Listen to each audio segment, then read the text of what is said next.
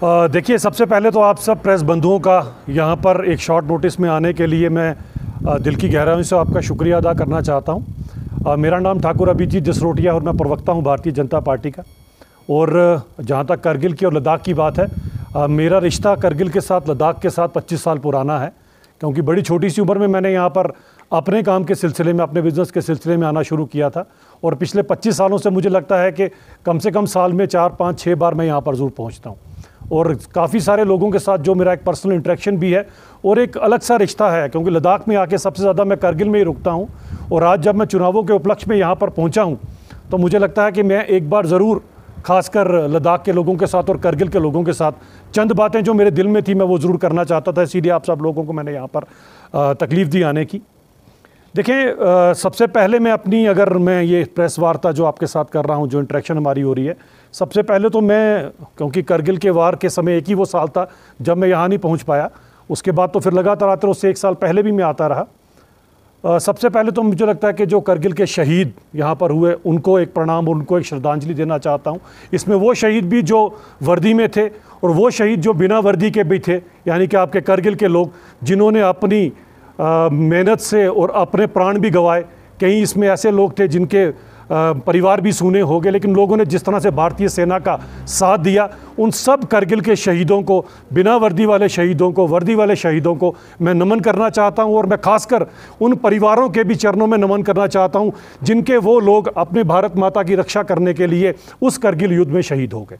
तो आज उन सबको भी मैं यहाँ से श्रद्धांजलि देना चाहता हूँ और यहाँ बाहर बैठ कर, क्योंकि यहीं पर सारे का सारा करगिल युद्ध, मुझे वो दौर याद है क्योंकि उससे साल पहले भी मैं यहाँ पर आया और उसके साल के बाद भी यहाँ पहुँचा था तो वो भी मुझे अच्छी तरह से याद है।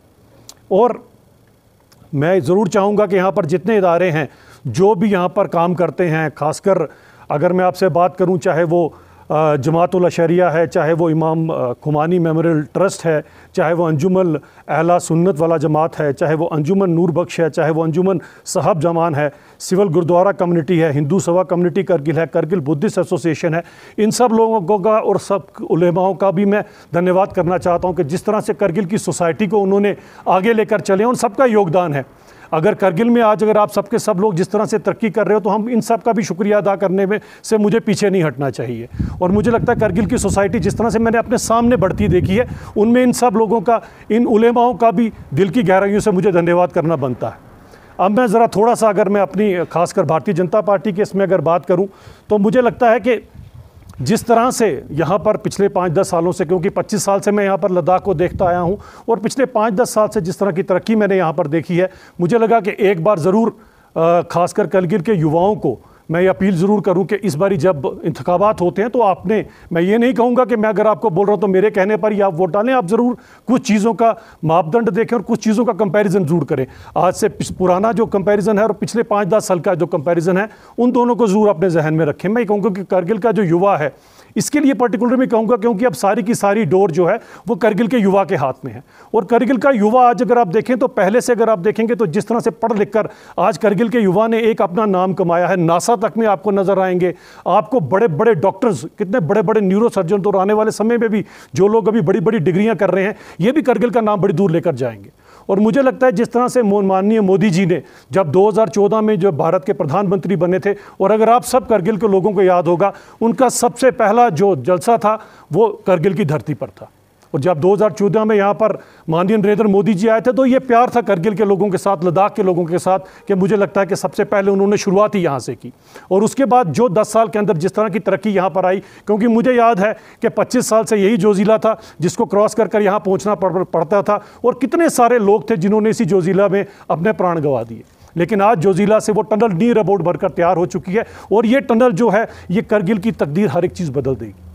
और आप देखिएगा जिस तरह से करगिल आज तरक्की कर रहा है, इस टनल के बनने के बाद अगर दो में भारतीय जनता पार्टी ने नरेंद्र मोदी जी ने विकसित भारत की बात की है तो आप देखिएगा कि विकसित कारगिल की भी बात यहीं से होकर आई।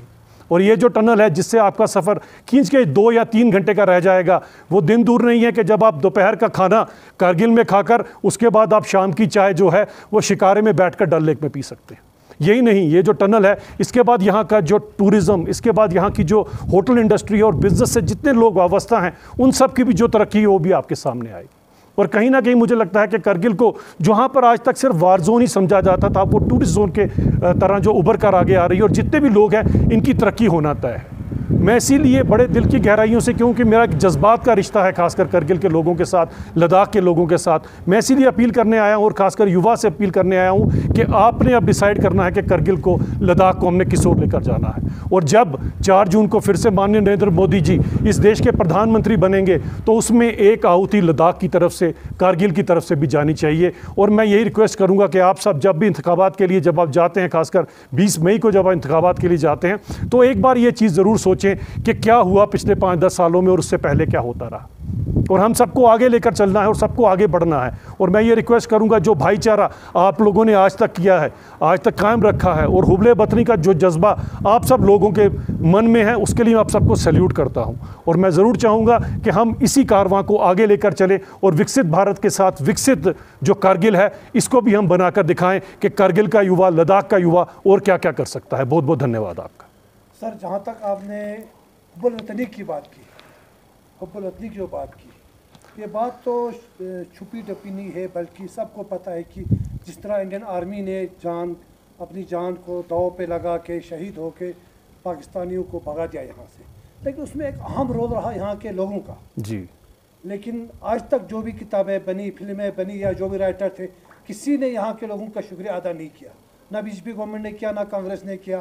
अब आइन मौके में आप लोगों को याद कर रहे हैं तो इसकी क्या वजह है? देखिए, मेरे मन में तो ये बड़ी देर से था, क्योंकि मैं अगर आप बोलूँ कि मैं जैसे अगले साल पहुँचा था तो मेरे मन में तब से ही था, लेकिन मुझे मौका ही आज मिला। मैंने बड़ी सारी प्रेस कॉन्फ्रेंसेस की आप तो मुझे वैसे टीवी चैनल्स पे देखते रहते होंगे, लेकिन मुझे आज मौका मिला जो मेरे दिल के जज्बात थे।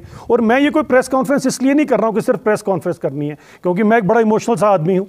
और मुझे लगता है कि मेरे दिल से जो जज्बात जुड़े हैं मैं आपको एक छोटी छोटी बातें बताना चाहता हूँ कि जब भी यहाँ से कोई आ, कोई भी इंसान जब जम्मू में मेरे पास पहुँचता है कहीं पहुँचता है बड़े सारे लोग मुझे जानते हैं। तो जब भी पहुँचता है जो मुझसे हो सकता है मैं बड़ा करता हूँ। मैं एक बात और कहना चाहता हूँ जो मेरे माइंड में है मैं ज़रूर कहूँगा। देखिए कहीं ना कहीं जब हमें जब हम सबका धन्यवाद करते हैं मैं क्योंकि मेरा कुछ काम भी इस तरह से वाबस्ता रहा मैं करगिल के डॉक्टरों का भी धन्यवाद करना चाहता हूँ। आप सोचिएगा जब छः महीने टनल बंद रहती थी यहाँ पर ऐसे ऐसे इमरजेंसी के केस हुआ करते थे वो अगर खचूल पहुँचते तो शायद वो भी उसको नहीं कर पाते सॉल्व जो यहाँ के डॉक्टरों ने किया उनकी भी बहुत बड़ी कंट्रीब्यूशन है इसके अंदर। मैं उनका भी धन्यवाद करना चाहता था लेकिन मुझे समय नहीं मिला। आपने बात की तो मुझे याद आ गया। और आज आप देखें कि उन लोगों ने भी जो सेवा की है उसके लिए उनका भी बहुत बहुत धन्यवाद। और आज ये प्रेस कॉन्फ्रेंस किसी सियासत के लिए किसी चीज़ के लिए नहीं है क्योंकि मेरा पच्चीस साल का आपके साथ एक रिश्ता है। उस रिश्ते को चल के जज्बाती होकर मुझे लगा ये बात कर मैंने आपको मुबारकबाद पेश करें अक्सर जो है नेशनल जब भी आप डिबेट में होते हैं लेकिन आप अक्सर ये हबुलती का ज़िक्र करते हैं। जी। तो हमारा सवाल का कहने का मतलब ये है कि हबुलती को लेके यहाँ के लोगों के साथ किसी भी गवर्नमेंट ने इंसाफ नहीं किया है। आप मतलब प्रैक्टिकल में आ जाए। बेशक दावे हो गए हैं। किसी रिटर्न बुक में देखा इनकी किताबें कर लिखी लोगों का ज़िक्र नहीं है। यहाँ तक कि कदरास की आप बात करेंगे या बटल की बात करेंगे कैटल इंस्टीट्यूट टोटली खत्म है आज तक भी कोई वहाँ पर नहीं है।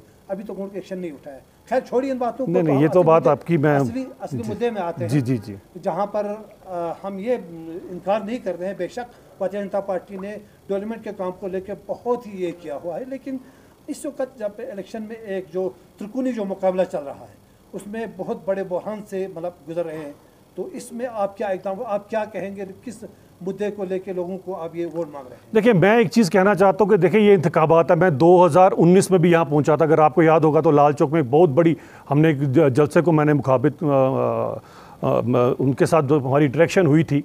मैं 2019 के बाद बीच में भी आया हूँ, लेकिन मुझे लगा नहीं कभी भी कि मेरे को इन सब चीज़ों में, क्योंकि ये कोई चुनाव ना तो पंच सरपंच का है, ना काउंसिल का चुनाव है। ये चुनाव इसलिए है कि देश का प्रधानमंत्री कौन होगा? और मुझे लगता है जितना मैं प्यार करता हूँ नरेंद्र मोदी जी से, उतना ही करगिल के लोग भी नरेंद्र मोदी जी से प्यार करते हैं। और मुझे लगता है अगर 2014 में इस देश के प्रधानमंत्री ने सबसे पहला स्थान करगिल में चुना था तो आज करगिल के लोगों का भी एक दायित्व बनता है। उन्हीं नरेंद्र मोदी जी को जो पुनः तीसरी बार इस देश के प्रधानमंत्री जा रहे हैं, बनने जा रहे हैं, उनको ज़रूर वोट डालकर कम से कम इन चीज़ के लिए आगे आना चाहिए लोगों को। ये तो मैं ज़रूर चाहूँगा। जिस तरह से आपने बात की तो कुछ ना कुछ बात तो रही होगी कि नरेंद्र मोदी जी ने यहीं से शुरू किया था। तो आज उसी चीज़ को लेकर मैं आप सबके बीच में आया हूँ और हुबले वतनी के लिए मैं सैल्यूट करता हूँ। मैं तभी तो कहता हूँ, जिन परिवारों के वो जीव उस कारगिल की वार में चले गए, उन परिवारों के भी चरणों में मेरा नमन है। क्योंकि मैं समझ सकता हूँ, कई ऐसे मैं परिवारों को जानता हूँ जिनके घर में बचा ही कोई नहीं एक नफर के अलावा। सभी के सभी लोग कहीं कोई गोला गिरा, कहीं बम गिरा, कहीं लोग बेचारे हैंडीकैप हो गए इसके अंदर। वो सभी लोग आज एक टाइम है उनको याद करने का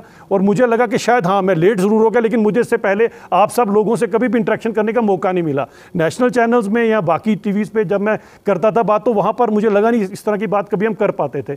आज इसी धरती में बैठकर क्योंकि वो लोग तो यहीं पर शहीद हुए थे। तो मुझे लगता है यही एक मौका मुझे मिला और जब पहले बारी मुझे मौका मिला इससे पहले अगर मैंने कोई प्रेस कॉन्फ्रेंस की होती तब भी मैं ज़रूर ये बात करता। लेकिन आज मौका मिला तो मैंने ज़रूर कुछ श्रद्धांजलि। है। जो कुछ बड़े इश्यूज़ हैं खासकर अगर हम करगिल एयरपोर्ट की बात करें जो काफ़ी लंबे वक्त से लोग डिमांड कर रहे हैं और भारतीय जनता पार्टी ने भी एश्योरेंस दिया है, लेकिन अभी तक मुकम्मल नहीं हुआ है। उसके साथ साथ अगर हम अनएम्प्लॉयमेंट की बात करें या टूरिज़्म सेक्टर में बूस्ट करने की बात करें तो इन मुद्दों को लेकर आप as a spokesperson BJP आने वाले समय में किस तरह से इन इश्यूज़ को रेज करेंगे क्योंकि अभी तक तो मुकम्मल नहीं हुआ। देखिए, सबसे बड़ी बात यह आती है कि भारतीय जनता पार्टी की कथनी और करनी में कभी फ़र्क नहीं रहता। हमने अगर बात की थी जोजिला टनल में, जिसको मुझे लगता है कि जब से कारगिल तब से सभी पार्टियों ने जोजिला टनल के लिए आपसे प्रॉमिस किया, लेकिन निभाया किसी ने नहीं। हाँ जब निकल कर बाहर आई तो कई नेता उसी समय, सबसे पहले उसके बाहर निकल कर आगे, मैं नाम नहीं लेना चाहूँगा, आपके पता कौन से नेता हैं। हम लोग काम करने में यकीन रखते हैं, और अगर भारतीय जनता पार्टी कहती है कि जो आपकी एयरपोर्ट की डिमांड है, वो पूरी होगी तो भारतीय जनता पार्टी ही करेगी। और सबसे बड़ी ये चीज़ आती है कि जब, खासकर अगर हम बात करें चार जून को, उसके बाद हम लोग किस तरफ़ होंगे? ये तो बहुत बड़ी चीज़ है। जो 400 का पार का भारतीय जनता पार्टी का नारा है, मुझे लगता है कि जब हम भी उनके साथ मिलकर, एक मेंबर पार्लियामेंट हमारा भी उनके साथ बैठा होगा तो एक ज़्यादा हमारे पास एक अच्छा ज़रिया होगा अपनी बात वहाँ तक पहुँचाने का। इसका आप सब समझ सकते हो, क्योंकि एक बहुत बड़ा एक आंकड़ा भारतीय जनता पार्टी का है, क्योंकि हमने दस सालों में कर कर दिखाया है। इस देश को जहाँ पर हमने पहुँचाया, ग्यारहवें नंबर की अर्थव्यवस्था से पाँचवें नंबर की अर्थव्यवस्था पर, आने वाले समय की तीसरी नंबर की अर्थव्यवस्था, ये सब कुछ कब हो पाया? 25 करोड़ लोग आज गरीबी से, रेखा से उठकर ऊपर आगे तो कैसे आए? आज तक नहीं आ पाए थे। तो भारतीय जनता पार्टी जो कहती है, तभी तो सबका साथ, सबका विकास की बात करती है, और इसमें सबका विश्वास, और मुझे करगिल के लोगों पर, लद्दाख के लोगों पर पूरा विश्वास है कि वो भी ज़रूर आगे बढ़ चढ़ जो है, नरेंद्र मोदी जी को अपना वोट डालें। जो करगिल का चार मुद्दा था, सर, जिसको लेके हमारे करगिल के लीडरशिप लेकर एपेक्स बॉडी और करगिल का केड़े मानेश्री सर तक गया सर तो वहाँ से भी निराश हो गया। तो यहाँ पे करगिल में आने के बाद यहाँ पे करगिल से इस टाइम एक इंडिपेंडेंट कैंडिडेट है सर। उन्होंने करगिल के यकजाती के लिए लद्दाख के लिए अपने पार्टी तक को छोड़ दिया। आपको पता है सर एनसी से और जितने करगिल का जो कांग्रेस है उन्होंने भी हाजी अनिफा जो है उसको सपोर्ट कर रहा है सर तो मेन मुद्दा कहाँ पे सर कि लद्दाख के लोग आज तक पे है? देखिए सोनम वांचू जी जो है इक्कीस दिन का अनशन पे अभी भी लद्दाख में अनशन है सर देखिए मैं मैं समझता हूँ जमहूरियत है। सबको पूरे का पूरा मौका मिलना चाहिए। हर इंसान को अपनी बात ज़रूर करनी चाहिए। सब अगर कर रहे हैं अच्छी बात है उनको लगता है वो भी अपनी बात। ये जो जमहूरियत की खूबसूरती है मुझे लगता है सबको मौका मिलना चाहिए सबको आगे देना चाहिए लेकिन डिसाइड लोगों ने करना है। इन लोगों ने 50-60 साल देखे हैं। मुझे लगता है कि 50-60 साल का बाकियों का रिपोर्ट कार्ड भी देखें और 5-10 साल का हमारा रिपोर्ट कार्ड भी देखें। बाकी जनता जनार्दन है जनता सबसे ऊपर है। जो लोगों का फैसला होगा हमारे सिर माथे पर है सबको कबूल होगा। देखें क्या है। मैं तो जो अपील मेरी भारतीय जनता पार्टी की तरफ़ से एज ए प्रवक्ता मेरी अपील बनती है और मेरा पच्चीस सालों का जो आपके साथ रिश्ता है उसके वजह से मैं आप सब लोगों से एक अपील करने आया हूँ। बाकी तो सबने जो करना है। आपका जो जो टशी साहब है वो आपका इस बार कैंडिडेट है सर। तो वो लेकर सीसीबी रहा है। अभी हाल ही में करगिल का भी दौरा किया। सर आपको कितना उम्मीद है कि लद्दाख के लोग इस बार भी बीजेपी को सपोर्ट करें? क्योंकि लोग आपको पता है इससे पहले लोग अनशन भी था इंडिपेंडेंट भी बहुत स्ट्रॉन्ग है पूरा करगिल का ऑल पोलिटिकल रिलीजन उसके साथ है। तो अब क्या देखिए टशी साहब की टशी गैलसन की आप बात करें मैं और टशी साहब इकट्ठे रहे हुए हैं। यहाँ पर आज से पुराना जो है हम दोनों का इकट्ठा बड़ी दोस्ती भी रही हुई है। उन्होंने काम किया हुआ प्रैक्टिकल। और मुझे लगता है कि दोनों हितों को बराबरी से अगर कोई देख सकता है तो टशी गैलसन देखेगा और ज़रूर देखेंगे, क्योंकि एक इंसान ने डिलीवर कर कर दिखाया हुआ है। और मुझे लगता है कि एज ए यूथ एक यंग है और कहीं ना कभी जब जब भारतीय जनता पार्टी के बाकी 400 मेंबर पार्लियामेंट वहाँ बैठेंगे, उनमें अगर टशी गैलसन साहब भी होंगे तो हमारी बात, और मुझे इतना पूरा यकीन है कि उनके लिए ले करगिल उनकी दो आँखों की तरह है और वो दोनों आँखों से बराबर देखते हैं। मैं ये ये कहना चाहता हूँ। भारतीय जनता पार्टी का क्या अलग चीज़ होगा? क्योंकि जो एश्योरेंस आप दे रहे हैं वही एश्योरेंस कांग्रेस भी दे रहे हैं और वही एश्योरेंस इंडिपेंडेंट कैंडिडेट भी दे रहे हैं। तो करगिल सेंट्रिक अलग चीज़ क्या होगा भाजपा का जिस बेसिस पे लोग आपको वोट करें देखिए मैंने कहा पचास साठ साल का उनका रिपोर्ट कार्ड पाँच दस साल का हमारा रिपोर्ट कार्ड निकाल के देख लीजिए। हमने कभी पक्षपात नहीं किया। लेह में भी उतनी तरक्की हुई जितनी करगिल में तरक्की जिस तरह से मैं जम्मू कश्मीर में हूँ तो मैं बात करता हूँ जितनी जम्मू में तरक्की हुई, उतनी कश्मीर में तरक्की हुई। कम से कम भारतीय जनता पार्टी एक आँख से नहीं देखती है। तो मुझे लगता है कि हमने जो कर कर दिखाया है और आपने कंपेरिजन आपने करना है, हाथ में आपके है। और खासकर युवाओं को, क्योंकि युवा आज करगिल का युवा वो पुराने वाले नहीं हैं। आज करगिल का युवा बहुत दूर पहुँच चुका है। मैं कई ऐसे लड़कों को जानता हूँ आप कहीं चले जाएँ आप एम्स में चले जाएँ वहाँ पर कितना युवा है जो आज वहाँ पर बैठा हुआ है? और वो सब के सब लोग करगिल को आगे लेना कर चाहते हैं। सेक्टर को या डेवलपमेंट को किसी भी एजुकेशन को हम ये मान लेते हैं कि उसमें काफ़ी तरक्की हो चुकी है। जी जी। एम्प्लॉयमेंट को लेकर करगिल की क्या उचार्ज है लद्दाख को आप क्या उचार्ज देखें मुझे जहाँ तक लगता है कि खासकर अगर मैं टूरिस्ट प्लेसेस की बात करता हूँ तो टूरिस्ट प्लेसेस के अंदर एम्प्लॉयमेंट की कभी कभी नहीं रहती है। वो सबसे बड़ी, क्योंकि टूरिज़्म एक बैकबोन होती है। और जिस तरह से आपके सामने आज देखें, जहाँ हम बैठे हैं, ये भी नया होटल बना है। टूरिज़्म जब आगे बढ़ेगा, आज आपका कारगिल से जंस्कार का सड़क है जो इतने सालों से नहीं बना, अब बन गया। कारगिल जंस्कार से आप मनाली चले जाएँ। जंस्कार से आप ले चले जाएँ। इसी तरह से आप आने वाले समय में दिन में अगर आप सुबह चलते हैं तो श्रीनगर जाकर तो शाम को वापस अपने घर। आज से कोई पाँच साल पहले या आज से कोई दस साल पहले कभी तस्वुर भी कर सकता था कि मैं सुबह जाऊँगा और शाम को सुबह का ब्रेकफास्ट भी कारगिल में करूँगा और शाम को मैं जो है डिनर भी घर पर करूँगा। कभी कोई सोच सकता था। और इतने सालों से हुआ तो नहीं। जिन्होंने कर कर दिखाया है, उन्हीं के साथ मुझे लगता है सब लोगों को एक मौका ज़रूर देना चाहिए इसके अंदर और आगे बढ़ना चाहिए इसके अंदर। सर एक क्वेश्चन है, सर, कि आप बोल रहे हैं ये पंच और सरपंच का चुनाव नहीं है पीएम का चुनाव हाँ जी हाँ जी। जब पीएम राजस्थान में कह रहे हैं कि सर मुसलमान जितने भी हिंदू की संपत्ति है वो मुसलमानों को बांट देगी। इस तरह के भाषण देने से क्या देखें इसके अंदर इसके अंदर सिंपल सी बात है कि बाबा भीमराव अंबेडकर जी ने जो हमें इस देश का संविधान दिया था उसके अंदर एस का एस टी यहाँ पर कितने आपको पता ना? एस का और ओ का अपना एक हक था मानते हैं आप सबके सब। हमारे जितने आज युवा हैं, वो उसी, हमारे काफ़ी युवाओं ने उसी कैटेगरी में अपनी अपनी पोजीशन ली हुई है। आपको लगता है कि, क्योंकि एस सीज एस टीज ओ का हक बनता था, ये आप सब मानते हैं। आपको लगता है कि धर्म के नाम पर इसको राजनीति को करना चाहिए? इन कांग्रेस वालों ने धर्म के नाम पर आगे इस देश के दो टुकड़े किए, फिर तीन टुकड़े किए। अब अगर आप धर्म के नाम पर आरक्षण करोगे तो एस का हक कहाँ जाएगा? मैं करगिल के लोगों से पूछना चाहता हूँ, आपका हक कहाँ जाएगा?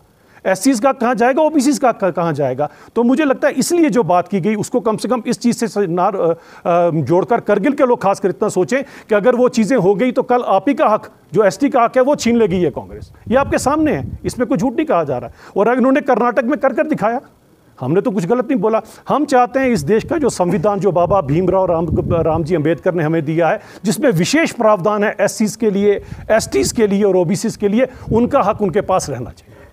Thank you, sir. Both, both. For more updates, subscribe to our channel Kargil Today. Click the show links and enjoy watching the videos. Like us on Facebook and follow us on Instagram. Keep watching Kargil Today. Keep enjoying Kargil Today, the only voice of Kargil Ladakh.